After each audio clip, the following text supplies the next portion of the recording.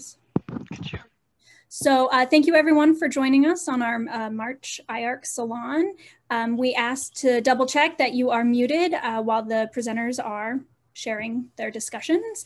Um, we do ask questions, wait for, for the questions until the end, but if you would like to type your question in the chat as the discussions are ongoing, please feel free to do so and we will read them off at the end. Um, you are also welcome to unmute yourselves and ask your own questions uh, at the appropriate time. Um, if you joined by phone, uh, we just ask that again, you double check that you are muted. Um, and if you don't know how to mute yourself, please press star six. That should do it for most phones, um, but we can hear you if you're not muted on your phone um, and it can be distracting. Um, again, any questions, just enter them into the chat. Um, the, the salon is being recorded and will be available uh, within a day or two on the IARC website. And I think I have covered most of that. So I will pass it over to Nicholas uh, for our introductions. Cool. Thank you, Cecilia. And uh, Dr. Hebert, I just want to let you know, uh, I still haven't gotten anything. So, and you're our first speaker. So just um, encouraging you to throw that our way as soon as you have the chance. Um, so everybody, uh, it's really great to have you all with us today. Welcome to our second to last IARC Salon of the 2021 uh, 2020 to 2021 academic school year, which has been one for the record books. Um, I hope everybody here is staying healthy, um, that you're getting vaccinated as soon as possible, and that you're all looking forward to a warm and welcoming spring uh, back out in the, in the great outdoors. Um, so my name is Nicholas Parlato. I'm a first year interdisciplinary PhD student um, and a research assistant at the Center for Arctic Policy Studies. Um, and I'm going to be our moderator for today. Um, and my co-host uh, Cecilia Boris Striegel will be assisting with questions and, and assorted other technical issues as we go along. So we've got a really excellent panel today to talk about a topic that is very much in the headlines and on the minds of about everybody working in the Arctic right now, which is infrastructure. Uh, northern re regions are frequently described as being infrastructure poor with scattered, aging, and inefficient service systems. Um, these types of things are cited as one of the critical challenges for communities and governments in recent years. Um, and while this characterization fails to acknowledge the once plentiful natural and social infrastructures that have sustained Arctic communities for generations, it does speak to changing needs in a globalizing and warming world. So of particular interest to today's panelists, uh, and many in the Arctic science community, is the relationship between melting permafrost and hard infrastructures roads, housing, industrial buildings, piping, power delivery systems. These will all require novel approaches to design, materials, and maintenance in order to ensure resilience in Arctic settlements into the future. So to discuss some of these challenges and solutions to these issues, we welcome three distinguished panelists. First, we have uh, Dr. Jack Hebert uh, of the National Renewable Energy Laboratory and the founder of the CCHRC, the Cold Climate Housing uh, Research Center. Uh, we have Dr. Aaron Dotson, the UAA Vice Chancellor for Research and Professor of Civil Engineering. And we have Billy Connor, uh, Director of the Arctic Infrastructure Development Center, which I recently learned uh, is a very young organization. And so I'm excited to hear uh, what, the, what directions they're taking and what kind of projects uh, are already under their belt. So to begin with today's presentations, I'm gonna pass it off to Dr. Hebert, and I'm gonna check my email, and lo and behold, I have his presentation. So I'm going to open that up right now and it will, it, it must download. This is a, this is a, a data rich presentation. This is a multi megabyte. Here we go. Okay. Dr. Hebert, are you, are you ready? I'm, I'm ready if you can hear me. Can you hear me, Nicholas? I can, loud and clear. Is Great. is the uh, image, is the presentation visible to everybody? That is the one. Yep, you might want to do full screen on it.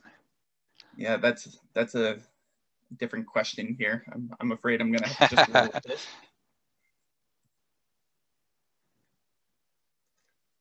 Well, that's all good. I mean, I can certainly certainly start with what we got, Nicholas, if you don't mind being in control of the, the changing of the slides, that would be great. Absolutely. They're not too many and not too complicated, but thank you all for having me. I was just on a presentation with, with uh, Dr. Connor, Billy Connor, Uh, and I know Aaron Dotson, so you've got a great group today. Um, I'm focusing a little bit rather than on specific uh, specifics dealing with climate change like foundations and and that those kinds of pieces. I'm I'm going to talk a little bit more about how we're going to get there because we we really have a great a great challenge here. And uh, the next slide, thank you. I think most of you are familiar, I hope, with the Cold Climate Housing Research Center. Uh, we were founded a little over 20 years ago. We're on the campus of the University of Alaska. And uh, let's see, I just lost lost you. Hang on. This is not real pleasant what I'm dealing with here. Um, anyway, it's a LEED platinum building built on degrading permafrost and considered at this latitude to be the most energy efficient building in the world. Next slide. These are the areas of our work. Uh, many uh, of the folks at the university have worked with us and worked with us in the in the past on some of our projects. This is uh, typical of the kind of work we do in one of our labs. Uh, this is an environmental chamber that will actually go down to minus 40. Primarily for, at this point, we're testing air source heat pumps. So it's, it's science stuff. And, uh, and it's important to have that to complement our applied researches, which is really what we are. Next, please. And that's all about demonstration and deployment. Um, if we can't if we can't show it, if people can't see it and feel it, uh, are we really making progress or are we just doing studies on a shelf? So this is very much applied research. And that is really shown in our Sustainable Northern Communities program. Uh, and this involves a process. And I think that some of our successes on this can be, be shared in the work that each of you do. Next, thanks. Uh, you again may be very familiar with NREL. We just developed this formal partnership with NREL last year.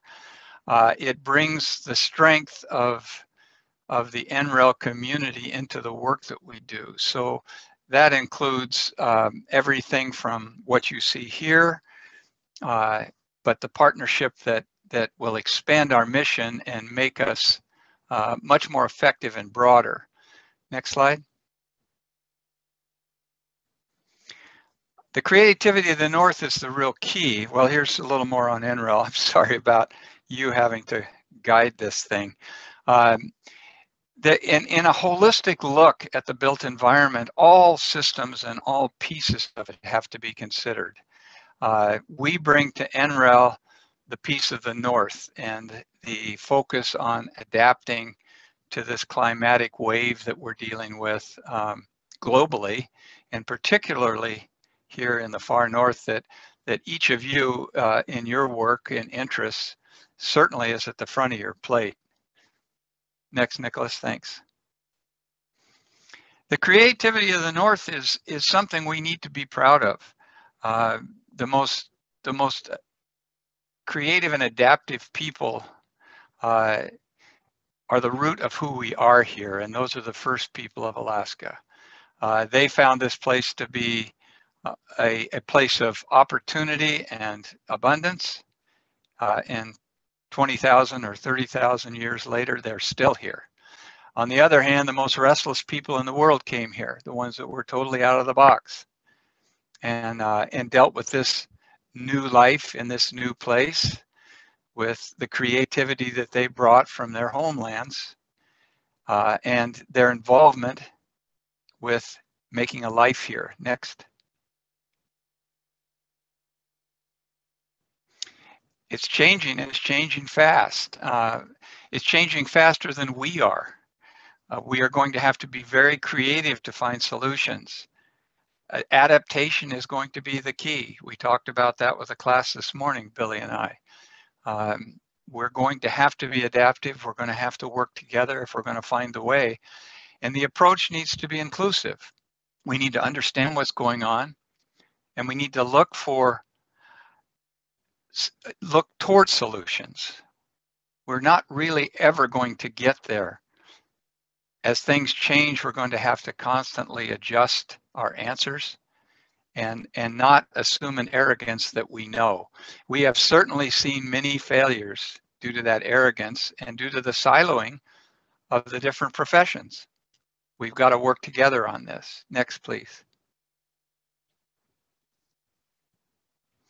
The physical environment's changing. Of course, the economic environment's changing. Next.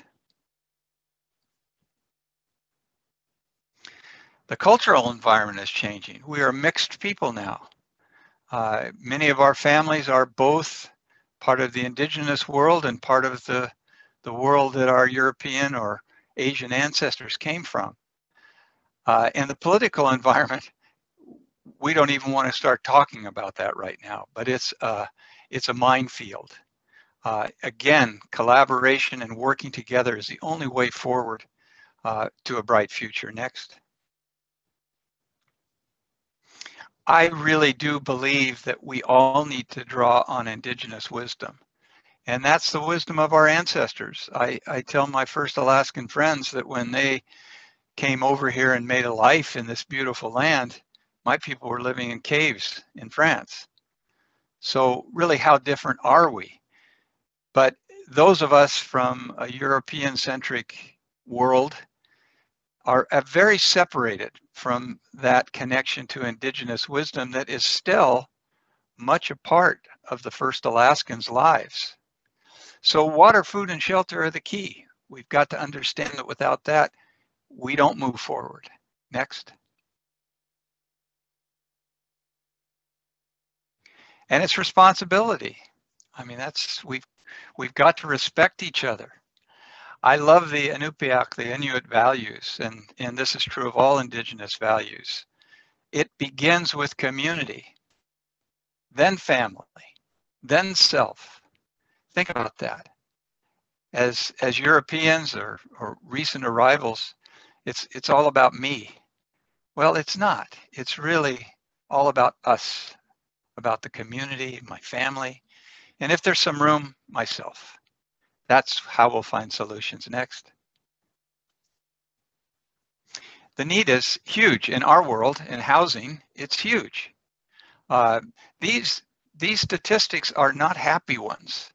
Uh, this is from our housing needs assessment for the state of Alaska. 74% of the homes are considered drafty. But that's drafty is just an inconvenience. But when you start looking at mold and structural failure, this little girl in the right-hand corner below, her house was literally rotting around her. In this community that we worked in, Quinhagak, you could stuff a, a number two pencil through that grade beam. It's so rotten, and that's bad building science. That's Western ways of building, totally inappropriate for place.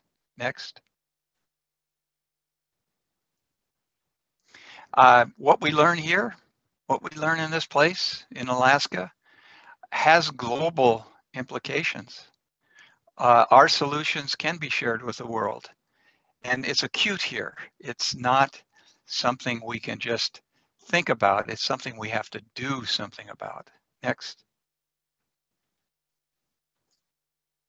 So 21st century technology. Next slide. And indigenous wisdom that combination of the truths we know about survival combined with the technologies and the science and what we're learning can lead us forward in a positive way. Next. So um, examples of this are in our work in Alaska. These are some of the communities that we've worked in and um, demonstration projects, working with the people. Just some of them. Next. This is an example of one. That, that little girl in that picture is from Quinhagak.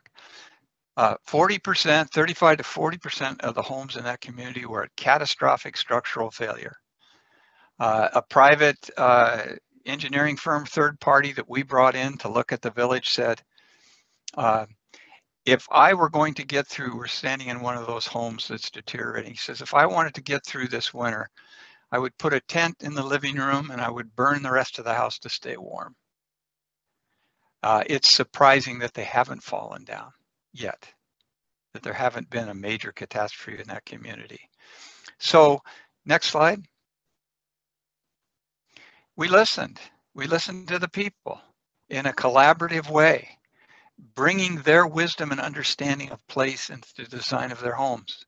This is the shape Quinhagak came up with the most practical shape for that place with high, high velocity winds from all directions, issues related to drifting, uh, of course, problems with staying warm. This shape is a practical shape. It's a warm shape. It works well and it's strong and, and is very functional. So a community driven design, next. And that means a, a, warm coat, a warm coat with no seams that are sewn through, a warm coat that is complete all the way around the building. So careful attention to thermal bridging, a high, uh, a very compact, high R value insulation that's easily transportable. Everything for this home had to be flown in by plane. Next. And constructability. Each section of this home could be built in a 20 by 20 room in the winter and then assembled in the summer. So in the winter, you build the pieces. In the summer, you put it together. And all of this, all the materials for this building, including the insulation, one DC6 for this house. Very light, very compact, and something that could be built locally. Next. So instruction of local workforce so they can do it themselves to, to help the economy, to get a sense of ownership by the people, to develop skills uh, that works for their lifestyle and the way they live. And uh, again, the, the local workforce informing us really of, of a work plan. Certain times of the year, it's times to fish or it's time to hunt and other times of the year are the time to build. So we worked with them on developing these, these buildings in this community. Next. And this is, this is the kind of result we got. Now there have been uh, another, another eight of these homes built in this community by the people. 130 gallons of fuel oil. And that's been kind of the average for all these homes that we've done. 80% less fuel consumption than the homes they were living in, at least. Good indoor air quality, fast build, light materials, good price, and durable. Next.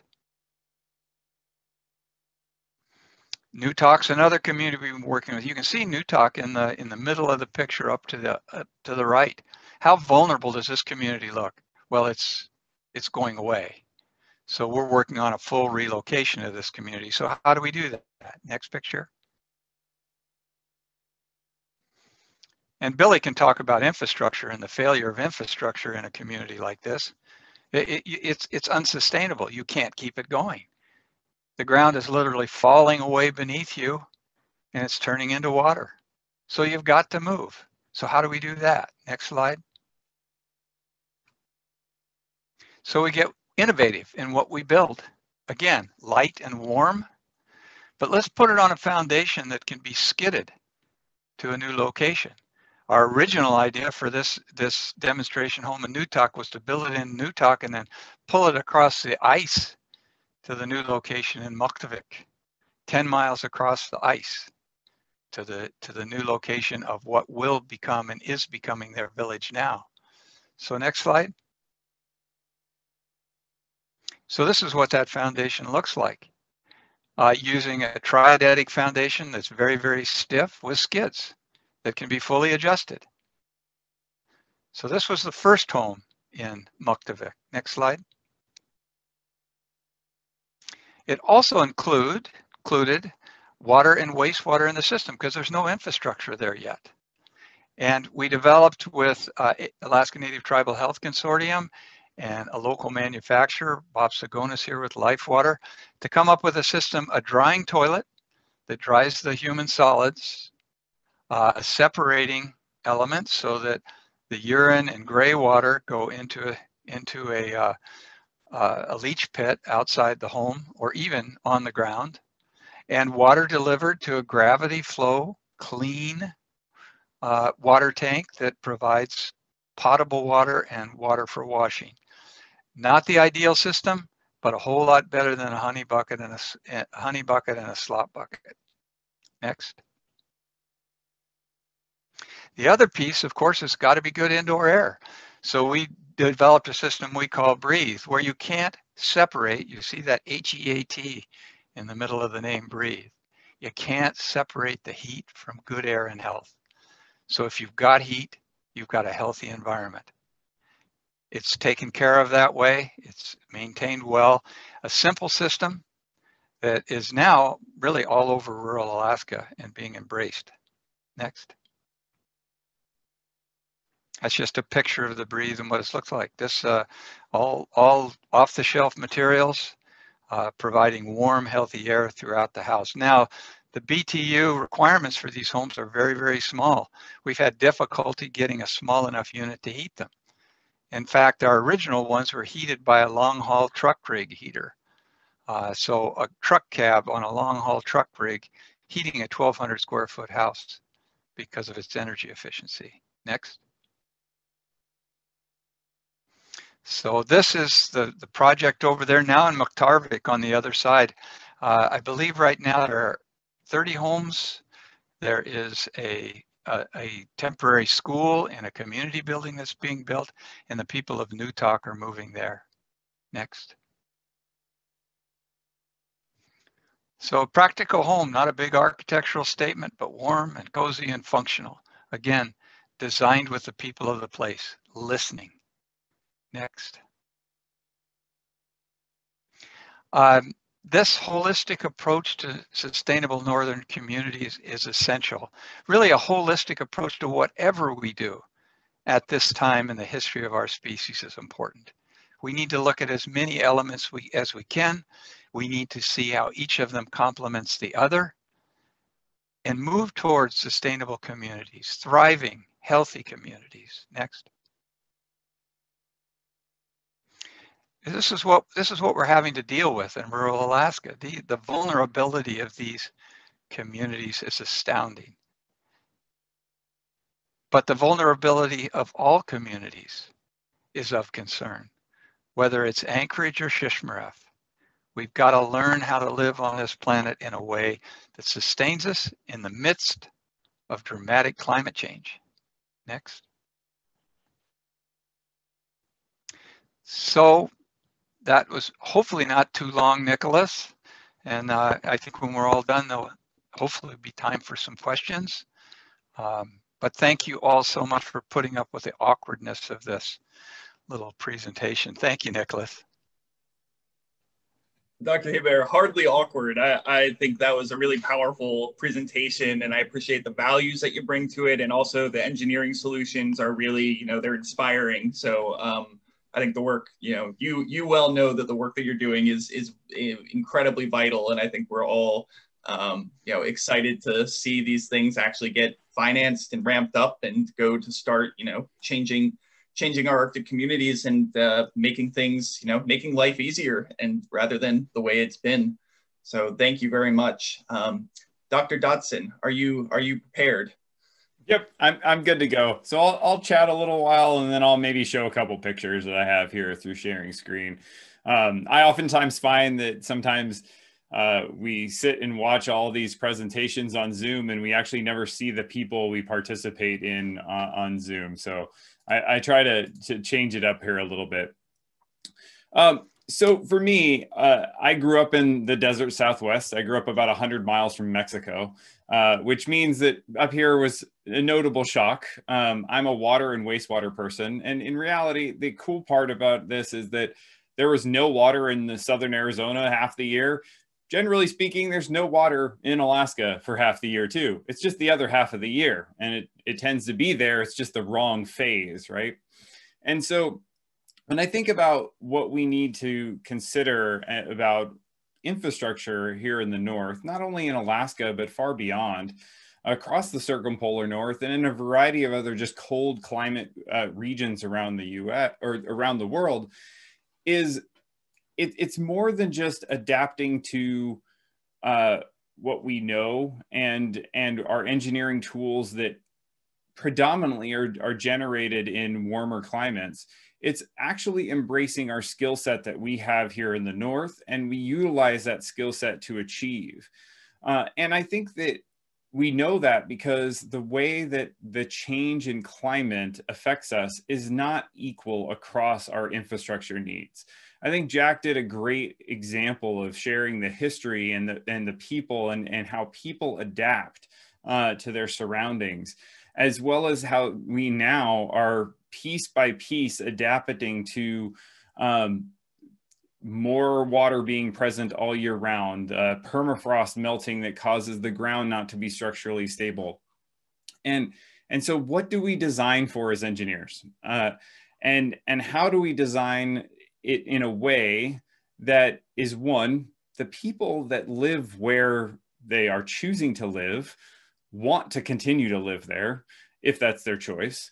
And, and how do we bring the knowledge set that that is learned in the north and learned in places with cold regions to bear here even though it's a much smaller pool of us that do that work?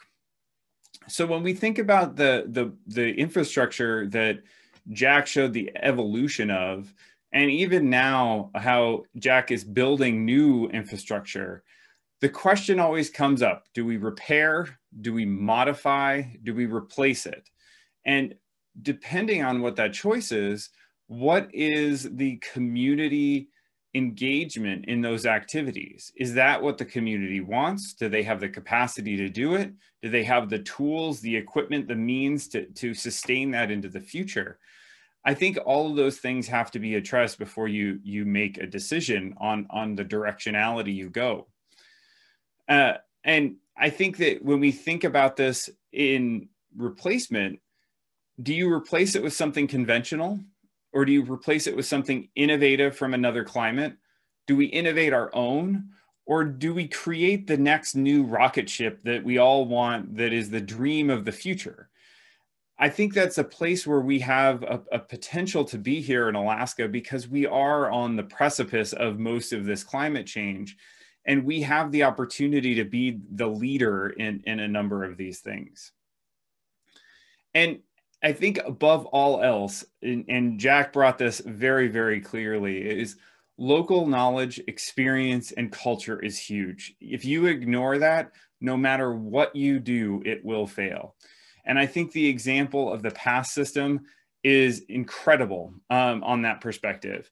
Uh, I'm going to go ahead and, and share a couple things here as we go through this and, and just highlight like I got to do part of my uh, sabbatical working on the pass system. Jack showed the original pass system and you know that was installed in Kivalina and it worked pretty well. Um, there were some problems with it and ANTHC listened to those problems. And in, in this picture, you can actually see some modifications that were made to the one. I know it's not, you don't have this in your head probably the same way I do, but the toilet that Jack showed that was a, a, a it is a urine diverting uh, drying toilet, um, sep solid separating toilet. We rebuilt it, and and Bob Tsigonis and and I and Jack uh, and John Warren and Jack and others all brainstormed a variety of different ways to do this.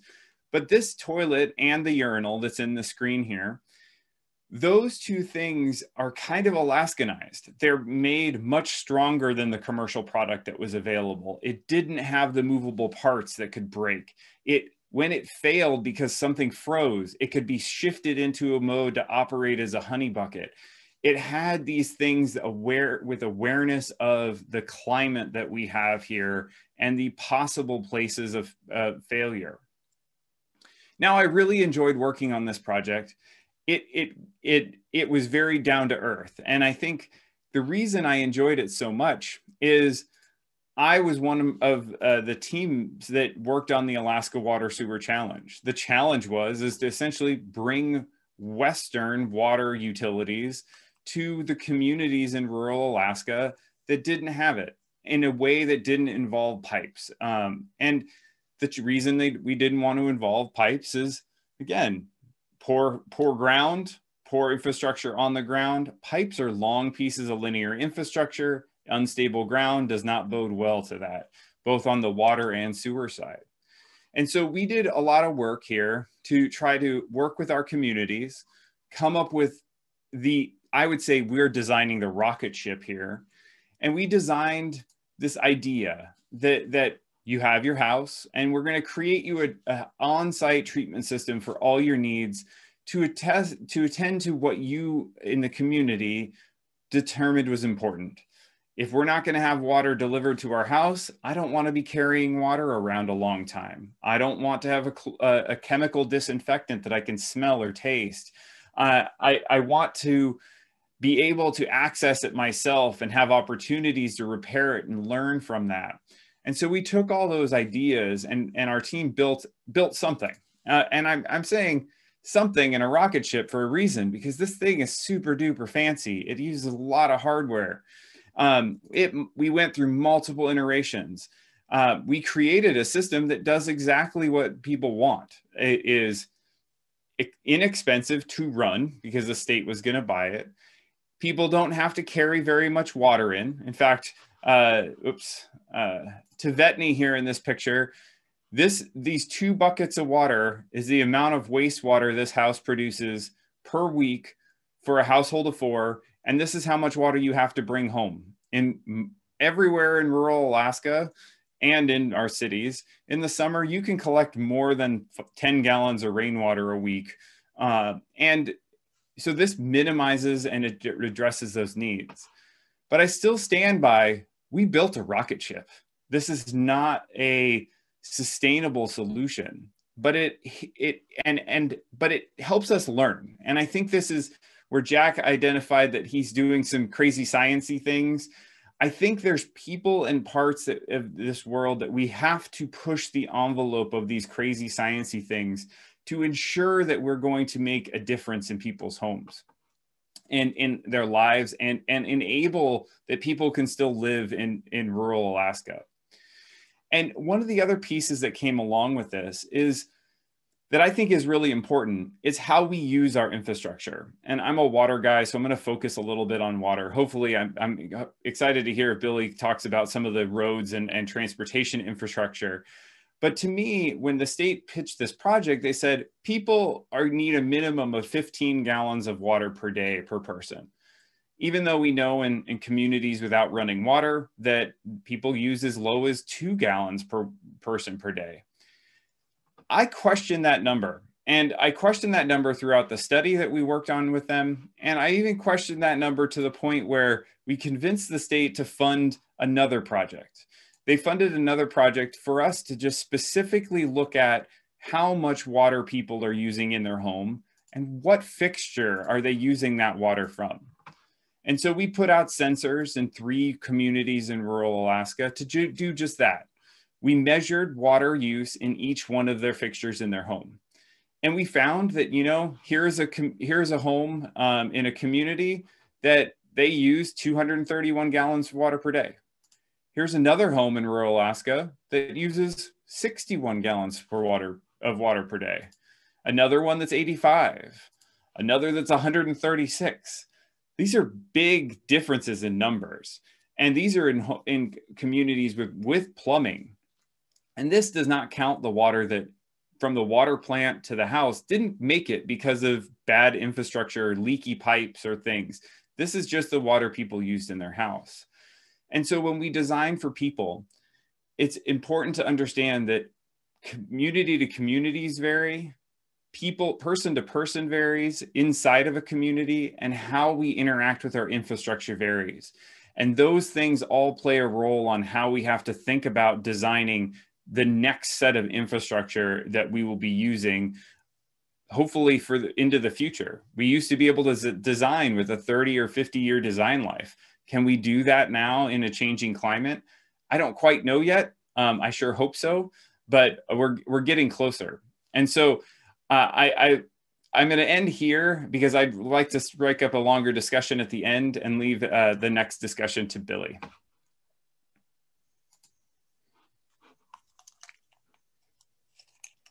Thank you so much, Dr. Dotson. And I definitely, I think we all appreciate that both you and Dr. Hebert keep emphasizing that community input and community needs being met and uh, negotiation and discussion are just the most critical parts of this. And I think it's probably worth us all just remembering that, you know, substandard housing being deployed by the state was very much, you know, the cause of these problems in the first place, as well as the disruption of traditional forms of housing and traditional ways of life.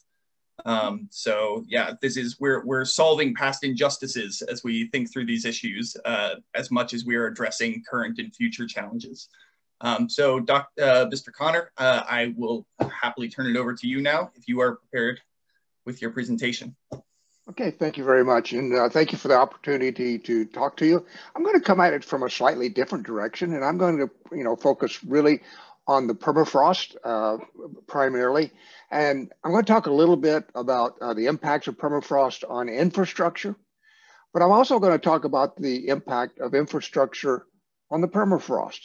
And if we look at the system, uh, what we really find that it is really a system. It's not a single part of it.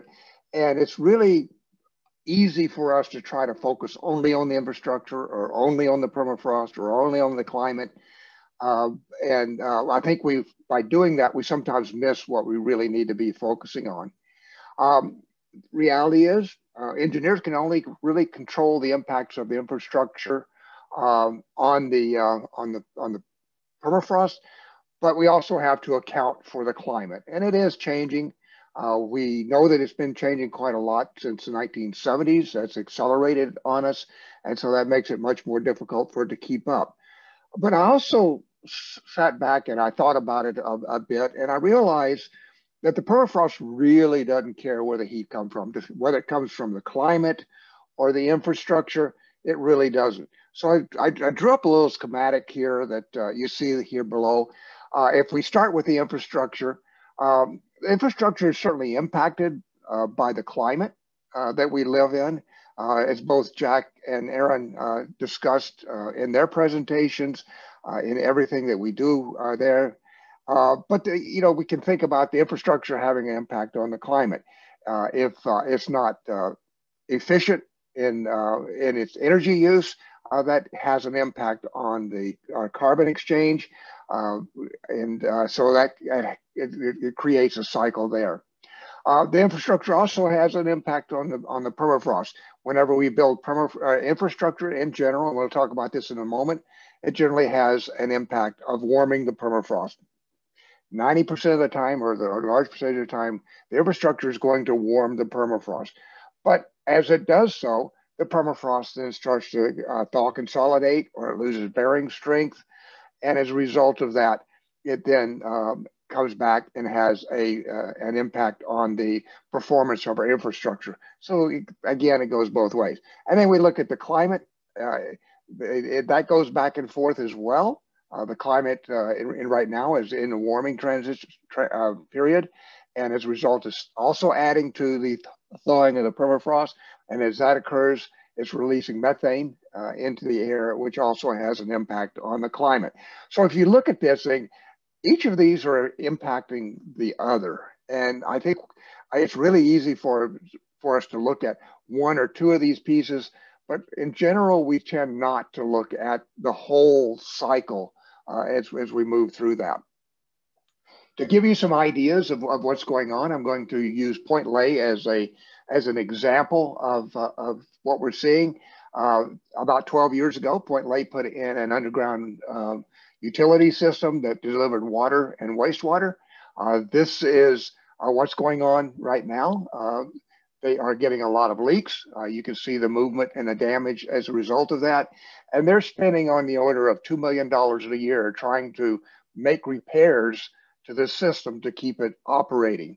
Uh, out of the 60 homes that originally hooked up to this uh, system um, for the wastewater uh, systems, only 30 are still on the system. So they lost half of the half of the uh, systems uh, on that. Uh, they are now using uh, tank and haul systems. So basically the wastewater goes into a tank and is then hauled and treated at the treatment facility. And um, that's certainly not a truly desirable uh, situation, but that's the way they're doing it. And they are uh, abandoning much of the water delivery systems and, and rebuilding that as well.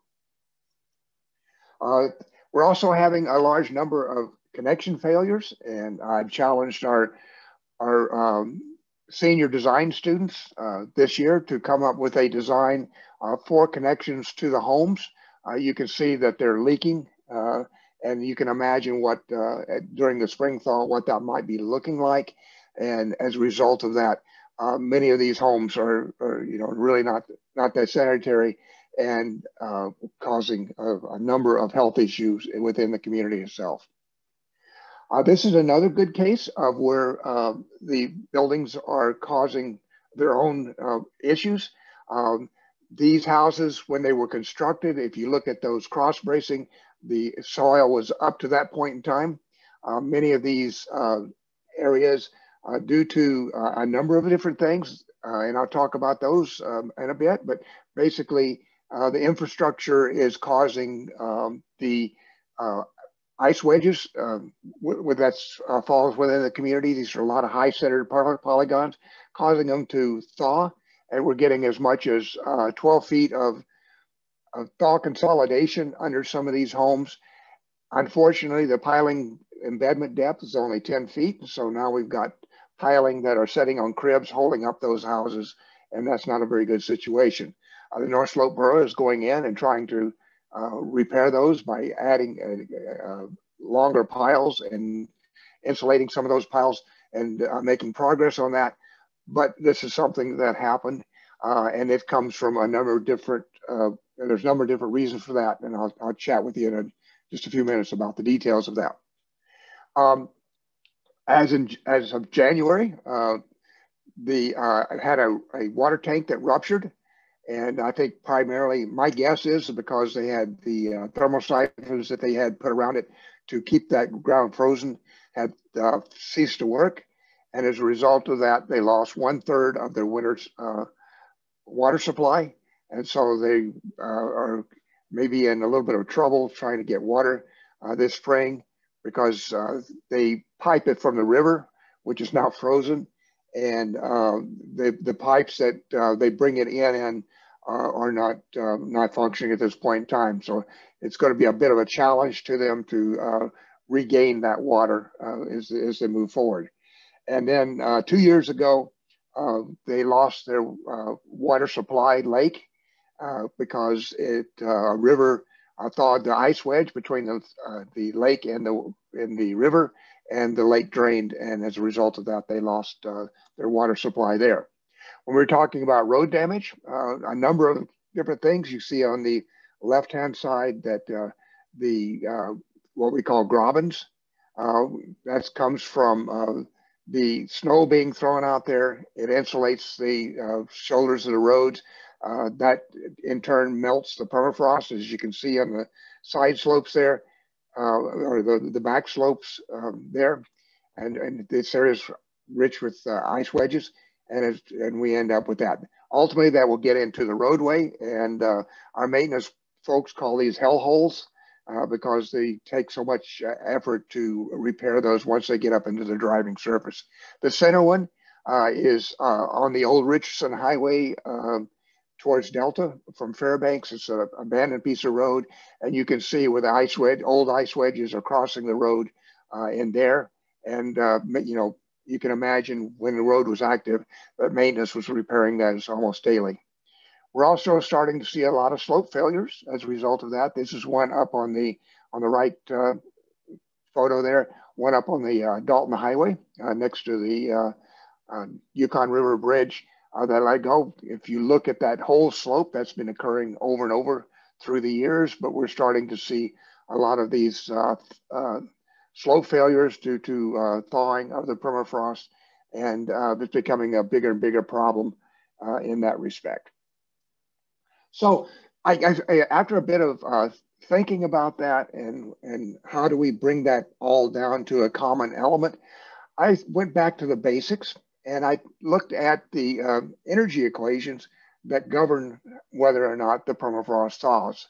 And it's really, um, you're looking at the net energy, which is nothing more than the inputs of uh, due to warming and the uh, extraction of the heat due to, to, uh, to the cooling. If the inputs of warming are greater than the um, losses due to cooling, you're going to get thawing of the permafrost. And it doesn't matter whether it comes from the infrastructure or whether it comes from climate. There are some significant difference between the two. Uh, infrastructure tends to be net warming uh, from the moment it's built. You can imagine building a house and all of a sudden uh, the, the uh, uh, ground is changed from about minus one or two degrees C uh, and suddenly it's on the order of plus 20 degrees C. Um, and the impacts on so impacts are on those surface temperatures are much larger and much more rapid than we might see in climate. But the climate is occurring over time. It is seems to be accelerating at the moment, and uh, we anticipate that continuing at least uh, for the near future. Uh, but it does have a little smaller impact on it because it's, it's occurring slower. Uh, but uh, as Kevin Bjella said this morning, um, it's really uh, a chronic feature and it's going to continue for. So we can't ignore it in the engineering process, uh, especially since it's additive. So when you put those things, two things together, uh, it, they, they do uh, seem to be uh, additive and, and, and, causing things to happen much more rapidly. We are seeing um, much of our infrastructure failing much more rapidly uh, than we have are used to. And we're, we're seeing that many of the techniques that we have uh, traditionally used uh, are not working or they're anticipated not to work uh, in, in within the next 25 years or so. So we're going to have to come up with new ideas, uh, new uh, techniques in order to uh, continue building our infrastructure in the north. And that's going to be a challenge for, for all of us. And there's no, no one that's attending this salon today that uh, cannot have input into that. So if we look at the energy balance, there's certainly a number of things, and I'm not going to go into any of these in, in great detail, but we've got the solar input, uh, either direct or, or, or, reflected. In the case of this photo here, a lot of this thaw is actually uh, due to uh, reflected energy uh, coming from the houses. We got geothermal input uh, in there, water, advection, advection, uh, if you want to thaw permafrost, the fastest way to thaw permafrost is to add water. Warm water will go anywhere faster anyway. Um, snow drifts, uh, many of our communities uh, do not account for snow drifts in their planning purposes, for planning purposes. And as a result of that, those snow drifts keep the permafrost, the ground warm in the winter and then uh, let the snow and water uh, get in there in the summertime and cause it. Uh, disturbance of, of, vegetation, we've known that since 1895. Uh, when, when, Puritans said if you disturb the, the uh, vegetation, you're guaranteed to end up with thawing permafrost. And the infrastructure itself, either due to conduction or radiation. Um, some of the things that are cooling it, uh, radiation from the surface, evapotranspiration or evaporation, uh, both conve convective and conductive and and sometimes the wind uh, will have an impact of that. So the trick is is to balance to try to balance those in such a way that we end up with net cooling. Uh, very difficult for us to do that, but we can certainly uh, work towards minimizing uh, that aspect of it. So in summary, uh, I think some of the things that we we can do and should do, and uh, as both Jack and Aaron indicated, the community is very much a part of the solution. And uh, I, we need to spend more time talking to them, uh, getting their input, and then coming up with solutions that uh, not only meet their needs, but meet their needs in such a way that uh, allows us to uh, have infrastructure that performs well and, and reduces the cost of that, of that uh, infrastructure. So community planning does need to account for both the impact of the infrastructure and the impact of our climate. Uh, you cannot separate the two. Uh, they must be go hand in hand as we look at this and bring it together and, and apply it in such a way uh, that um, those impacts are, are minimized. Uh, we have to design our uh, infrastructure to account uh, for the impact of those surface temperatures. Uh, it's very important, but we also uh, very definitely must account for the changes in our climate and bring those together. And finally, we need to design our structures so that they're tolerant of thawing permafrost. Uh, Jack Hebert talked a little bit about uh, geodesic or putting them on sleds so we can move them around. Uh, we also, uh, the CCHRC building is built on an adjustable foundation. Uh, that's uh, something else that we can do. In Point Lay, uh, we know that about 40 feet down that it's on thaw stable permafrost. So lengthening those piles to put them in a position where they can be successful. Um, so it really requires um, us to rethink our current approaches, uh, to refine them, and, and, and find ways that adapt to uh, what we're seeing. So with that, I think that was my last slide.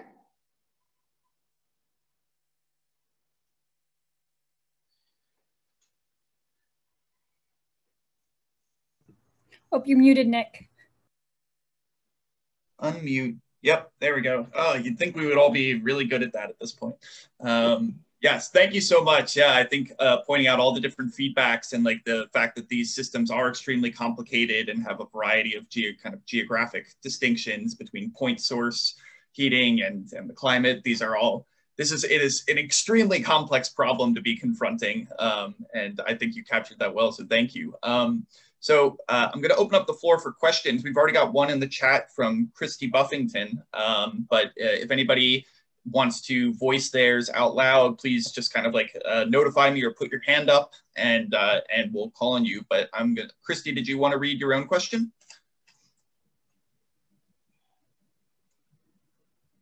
Or I can read your question for you. I'm going to take your silence as an as a as permission for me to read it. So Christy asks, uh, when surface temperatures increase from infrastructure, how do you distinguish the effects of vegetation disturbance versus thermal conduction from structures? And I think that's generally addressed to all of you, but perhaps Mr. Connor. Okay, you know that's a really good question. I've spent a lot of time and a lot of money and to try to separate each of these uh, modes of, of heat transfer into the system. And while we can do it theoretically and mathematically, uh, and we can put sensors in to to measure the measure the uh, the the impacts.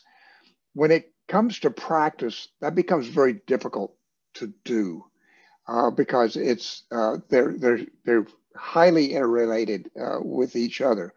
But uh, as I say, when we uh, would when we look at these and we can look at each one of them individually, I can go out on a plot of land, which we did out of out of CRREL, uh, just uh, on the other end of Farmer's Loop many, many, many years ago, and stripped the vegetation off of it and looked at what happened uh, as it thawed and, and put sensors in there and measured that.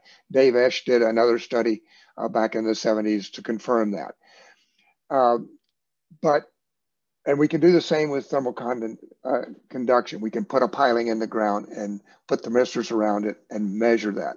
But when we start combining the two, then it gets much more complex. And the same thing happens when we add water and we add all these things together. It really becomes very difficult to separate. Did any of the other panelists want to weigh in on, on this or uh, we can we can move on to Hajo's question. Hayo, did you want to ask your question uh, in person? Uh, hey, thanks. Um, great presentations. I was wondering um, whether you see a specific need for climate variables that currently aren't available, right? Because the climate variables typically like air temperature or wind speed were designed not with necessarily some of these Arctic engineering applications in mind. Is this something that you think absolutely needs to be measured or, or needs to be calculated from existing measurements that's currently lacking. That would be really interesting to learn more about. Thanks. Jack, did you want to say something before I jump in? Okay. Um, yeah, that's a really, really good question. In an ideal world, uh, we would put all of the instrumentation that we need to design for a site, and that includes solar insolation, uh, air temperatures, ground surface temperatures. All of these things would be wonderful to be able to, to put in there and we put and then, and then put into our surface energy balance equations and come up with the answer. That's not realistic. Uh, there's no way that we can afford to do that and no way that we can afford to do that over a long enough period of time to be meaningful. And so what we do is we look at developing some surrogate information to help us out. Uh, there have been a number of uh, studies that looked at what we call an N value, which converts air temperature to uh, surface uh, surface temperatures, and we we use those, that as a tool. The unfortunate part about that that uh, approach is, as I look, it's great if I don't expect a change in my climate. I'm I'm basing it on the on the last period, some number of years. But as I look to the future, the N value make is is I'm not sure how good that is. Uh, we do the best we can. We make our best guesses, and when we move forward. But there's really no good way to to to be able to put that together.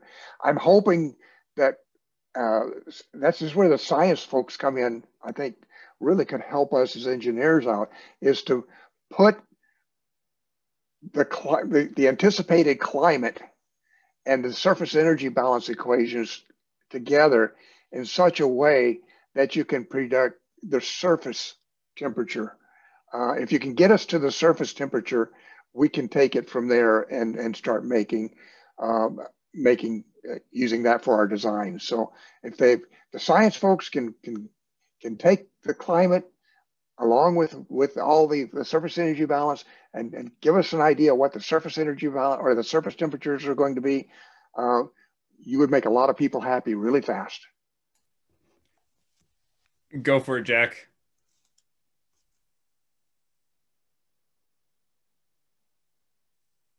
Uh, we can't hear you. All right, I'm going to jump in while Jack is trying to figure out his mic.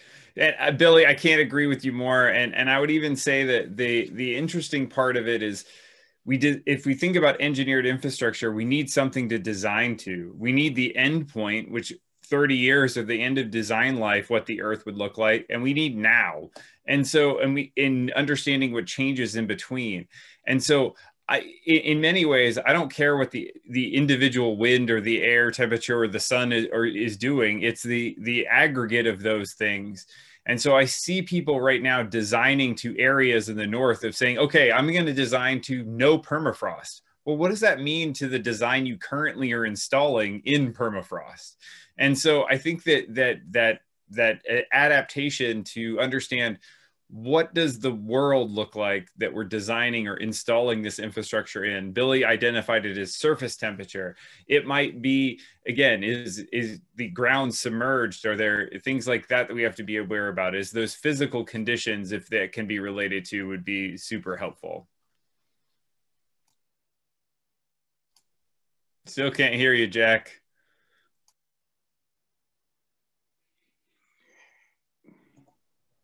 Dr. Hebert, if you want, sometimes what works is you click on the little arrow on your mute button and test the mic, and that'll reset the mic. If you want to give that a shot.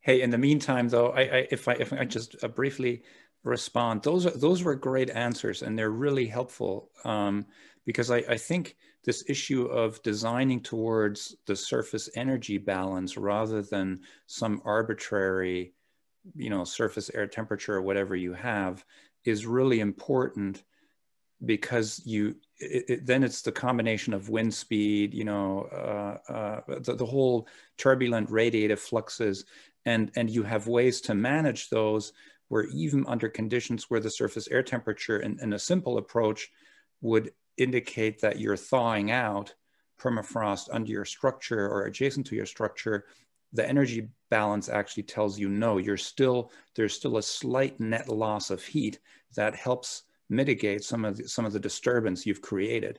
And in my mind, that that is a real that might be a really worthwhile. I mean, you you're already probably pursuing this, but what's interesting is that the the uncertainties and in, in actually measuring those residuals are not insignificant. And, and even a few watts per meter squared, if you average over longer periods of time, can make a big difference. So that strikes me as something that would be really cool to explore a bit more and, and some type of collaboration between you know, atmospheric scientists or climatologists who are looking at this and, and the engineering community. Yeah. Yeah, I thank you for your comments, and, and, and you're absolutely right. The other part that I, I think is really important for us to understand is um, when we design, when engineers design, we, we do take into account risk. That is a very important thing for us to do because you know our, our charter is no loss of life or property, you know, and uh, you know, we the last thing we want to do is hurt someone, and so we we establish the risks that we're willing to take and that our clients are willing to take. Uh, in the end, a lot of times we don't make the final decision; it's the client as to how much they're willing to pay uh, for that risk, and we we you know we have to talk to them about the risk of failure or the risk of us not performing as they would like. So if we can get that kind of input uh, as far as uh, what we might see, what conditions the, the structure is going to perform under, then we can uh, start applying the engineering judgment and the engineering equations that we have to that. So Jack, I think we can hear you again. Wouldn't that be amazing? Yeah. Gosh, wonderful. I, I have these very expensive headphones that NREL gave me, and they'll work for a while and then they quit, um, even if I plug them in. But uh, Hajo, the engine that you have up there at UAF and UAA to develop models to predict short and long-term events um, is so important in the design phase of things. If if we're looking at a continuation, for instance, of of these high velocity storms uh, coming predictably year after year, uh, it, it helps inform what we're going to do moving ahead. So it's not just the temperature of the ground, it's how much snowfall is predicted with these different different uh, climatic changes or these these large uh, atmospheric atmospheric shifts. So we can know what we're getting into sort of like what Texas is dealing with now in the in the southern states with uh, with the extreme weather events that they're having there. Whatever we can prepare for helps us if we know that that these winter storms are going to be more consistent and more severe over the next 10 years, the urgency of making uh, decisions uh, becomes more acute. So I had a quick question. I know we're already over time, so you know, feel free to to address this very cursorily. But uh, I noticed that there was no mention of thermosiphons throughout the conversation, and no mention also I've heard several people recently discuss geoengineering possibilities, things like ICE 911 and kind of, con- you know, which I find to be very controversial and, and dangerous kind of ideas. So I was wondering if you all kind of, um, how your thinking has evolved in terms of, uh, you know, over the last 15 years, was there a much stronger emphasis on we can maintain the permafrost and we can, we can kind of change the, uh, the soil dynamics, uh, or and, and has that just faded off in the adapt as the adaptation kind of discourse has um, taken more of a hold? Um, yeah, where does that fit into your into your kind of thinking in, for the future of the Arctic? Well, that's a really good question because we don't know. Uh, uh, we, we, we have a lot of discussions on where that go, where, where we're going. Uh, you know, two of the options that we have, uh, there's a couple others, but two of the main options we have, we can either thaw it or we can keep it frozen. And so we go into a location and we look at it and we have to make a determination uh, whether we're going to do it. One of the others is to avoid it. We can't always do that, or we can remove it. Sometimes we can, sometimes we can't.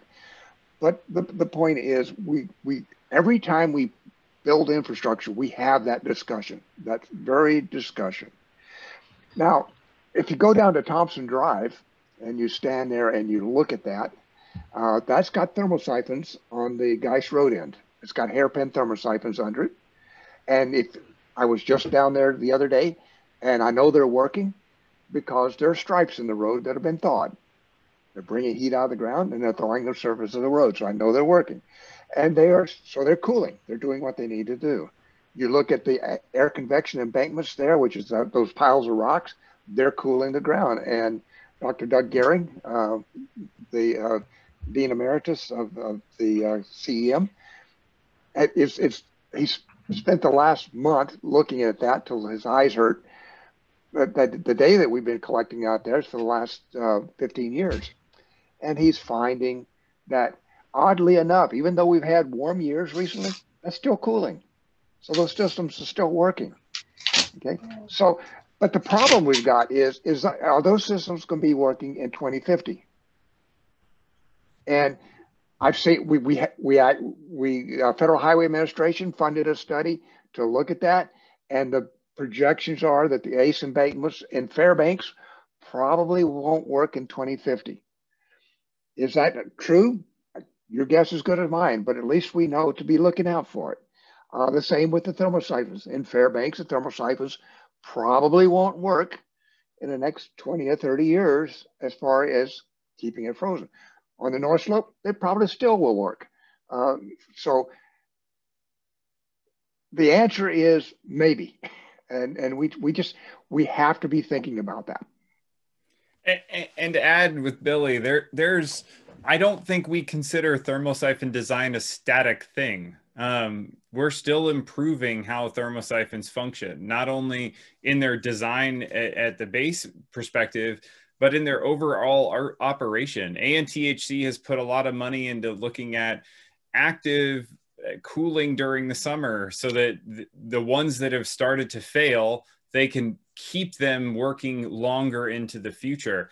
And some of them are even using solar. So it's no additional new energy add. It's just converting sun to electricity to then produce something to keep the ground frozen.